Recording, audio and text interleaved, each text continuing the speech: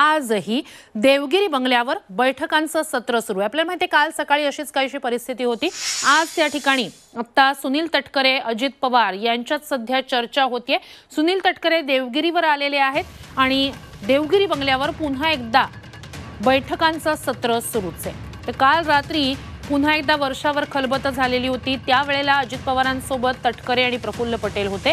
तर आता तटकरे पुन्हा एकदा देवगिरी बंगल्यावर पोहोचलेले आहेत. आता कालच्या प्रमाणेच आज सुद्धा राष्ट्रवादीचे इतर महत्त्वाचे नेते आणि मंत्री पुन्हा एकदा देवगिरी बंगल्यावर येतात का हे पाहावं लागेल. मात्र खाते वाटपाच्या एकीकडे चर्चा मंत्रिमंडळ विस्ताराच्या एकीकडे चर्चा आणि त्याच पाठोपाठ हे बैठकांचं सत्र.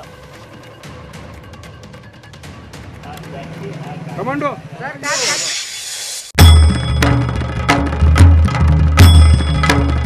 भंडाऱ्याची उधळण म्हणजे